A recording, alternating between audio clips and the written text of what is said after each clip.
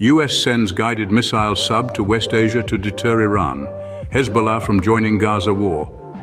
The US military on Sunday said that a guided missile submarine reached West Asia according to a report by news outlet CNN. The report said that the move can be interpreted as a message of deterrence aimed at regional adversaries of the US. Before we dive in details, please subscribe to the channel and stay always one step ahead to know all global important events happening around you. Give a thumbs up and share the video with your family and friends. Let's move on with the video. The US Central Command did not name the submarine, but said that an Ohio-class submarine was entering its area of responsibility and shared a photo where the submarine was pictured in the Suez Canal, northeast of Cairo. Nuclear-powered vessels mostly operate in secrecy and the US Army does not announce the movements or operations of its fleet of ballistic and guided missile subs, except for rare occasions. The announcement is made to ensure Iran and its proxies do not engage in the Israel-Hamas war. The US Army has sent two carrier strike groups and an amphibious ready group to West Asia. The guided missile submarine was sent to West Asia as US Secretary of State Antony Blinken held back-to-back -back meetings with officials in Turkey, Iraq, Israel, the West Bank, Jordan and Cyprus. But ahead of his trip, the US Defense Secretary told Israeli Defense Minister Yoav Gallant that the US will deter any state or non-state actor seeking to escalate this conflict, which was a clear reference to Iran and Hezbollah. Both Biden administration staffers also pointed out that civilian casualties in Gaza need to stop. The US has four Ohio-class guided missile submarines. These are known as SSGNs, where the SS denotes submarine, the G denotes guided missile, and the N denotes that the submarine is nuclear-powered as per the US Navy's hull classification symbols for cruise missile submarines. The US Navy's Ohio class of nuclear-powered submarines include 14 ballistic missile submarines, SSBNs, and its four cruise missile submarines, SSGNs.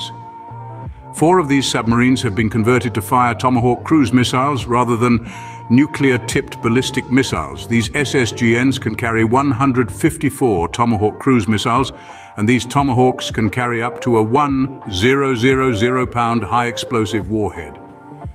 A former director of operations at the U.S. Pacific Command's Joint Intelligence Center said earlier in 2021 that Tomahawk missiles contain each SSGN can carry 154 Tomahawk cruise missiles, 50% more than U.S. guided missile destroyers pack and almost four times what the U.S. Navy's newest attack subs are armed with.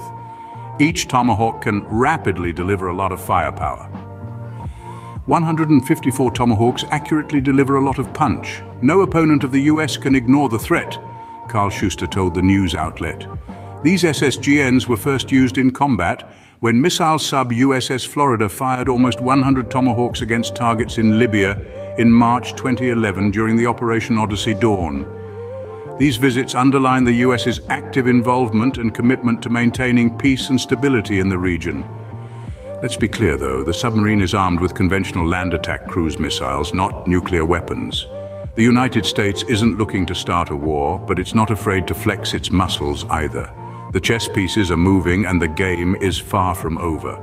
Let's rewind a bit. The surprise attack by Hamas on Israel set the stage for this military escalation. In the blink of an eye, the dynamics of the Middle East shifted dramatically. The unexpected aggression from Hamas against Israel caused a ripple effect, impacting the United States' regional strategies, its allies, and even its adversaries. The US, in an attempt to reduce tensions in the Middle East, had been directing its focus towards China. But the sudden disruption caused by the Hamas attack threw a wrench into these plans, revealing the precarious nature of the delicate equilibrium in the region. The US had been fostering a normalization process between Israel and Saudi Arabia, a diplomatic dance aiming to strengthen ties and promote stability, but this process was abruptly halted in the wake of the attack. The US was left with no choice but to bolster its military presence in the region, a move that not only represented a significant shift in strategy, but also marked a clear end to its efforts to de-escalate tensions with Iran. The situation put Arab governments in a tight spot. They faced the difficult task of condemning Israel's actions while also coping with pressure from the US. The lack of action by Arab leaders to protect Palestinians could potentially lead to further regional instability, a situation that everyone wanted to avoid. Iran, a known supporter of Hamas, was also left with a difficult choice. It had to balance its support for Hamas against the risk of being dragged into a direct confrontation with Israel or the US. The consequences of the attack extended beyond the immediate region. The US's involvement in another Middle Eastern conflict and the weakening of its alliances with Arab states could potentially benefit Russia and China, providing them with an opportunity to increase their influence in the region. But that's not all. The ripple effects of this attack are far-reaching. As the US increases its military presence and support for Israel, its position in the Islamic world wavers. This is a time of shifting alliances and emerging adversaries, a complex dance of diplomacy and military strategy. The US's involvement in the Middle East conflict has created ripples that extend far beyond the region. With its alliances with Arab states weakening, a vacuum is being created, one that Russia and China are only too willing to fill. These nations see an opportunity, a chance to gain ground and increase their influence in the region. Arab governments, meanwhile, find themselves in a precarious position. On one hand, they face pressure to condemn Israel's actions. On the other, they are under pressure from the US, their long-standing ally. It's a difficult balance to maintain, and the strain is evident.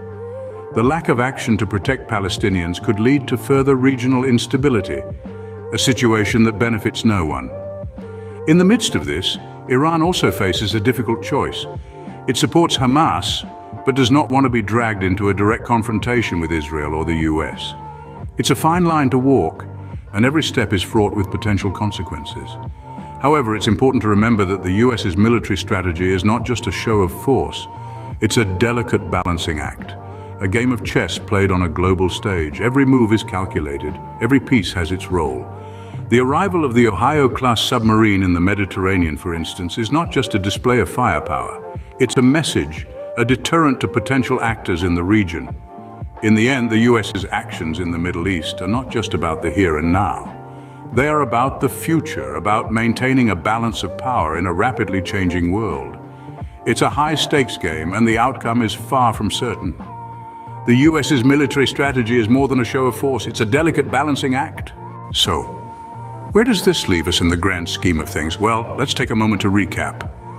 We've talked about the arrival of the Ohio-class submarine in the Mediterranean, a heavyweight player capable of carrying up to 154 Tomahawk cruise missiles. The deployment of this submarine alongside other US military assets is a clear message of deterrence to potential actors in the region.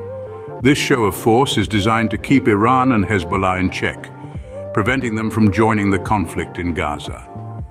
Then there's the ripple effect of the surprise attack by Hamas on Israel. This single event has drastically shifted the dynamics in the Middle East, disrupting U.S. strategies and causing a significant change in the Palestine-Israel conflict. It's put a halt to the normalization process between Israel and Saudi Arabia, forced the U.S. to ramp up its military presence, and ended efforts to de-escalate tensions with Iran. Let's not forget the precarious position this has put Arab governments in. They're caught between a rock and a hard place, facing pressure to condemn Israel's actions while also being nudged by the US. The lack of action could lead to further regional instability. On the other side of the coin, we've seen a potential opportunity for Russia and China. The weakening of US alliances with Arab states could potentially give them more influence in the region. The US military buildup and its support for Israel's actions in Gaza could potentially undermine its position in the Islamic world, allowing Russia and China to gain ground. In short, these events have caused a seismic shift in the power dynamics of the Middle East. The US, with its high-tech defense equipment and strategic military maneuvers, is playing a pivotal role. But the chessboard is complex and the game is far from over. As the US continues its strategic maneuvers, only time will reveal the outcome of this high-stakes geopolitical chess game.